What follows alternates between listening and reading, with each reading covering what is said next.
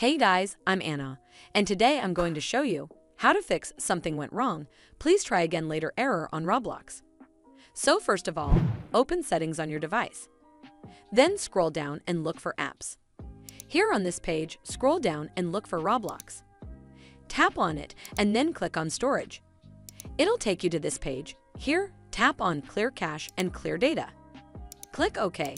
Then tap on the back button once and click on Permissions. Now make sure all the permissions are allowed.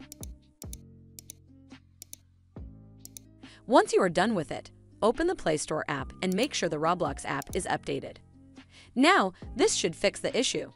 But if it doesn't, open this link from the video description below in your mobile browser. Sometimes it can happen due to server issues. In case you find a temporary outage, wait for some time and try again later. Alright, well that's how you fix this issue on Roblox.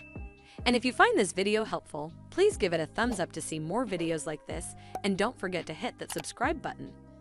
We'll see you in the next one.